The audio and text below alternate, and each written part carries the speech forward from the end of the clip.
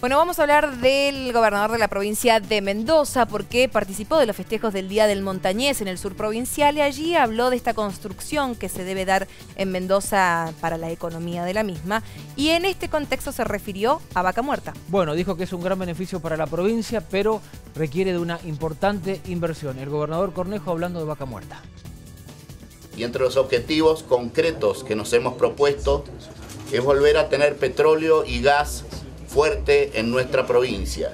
Y la verdad que estamos sentados arriba de mucho petróleo no convencional y de mucho gas en el sur de la provincia. Queremos en este lugar desarrollar la lengua de, vaca muerta que hoy está este, eh, explotándose desde Neuquén. Y nos, hemos, nos hemos puesto como un objetivo y estamos poco a poco dando pasos en esa dirección. Estamos invitando a mucha gente porque requiere inversiones grandes, pero queremos darle seguridad jurídica para volver a, tener petróleo, que es lo que hizo a San Rafael y a, Malargüe los hizo, los hizo grande.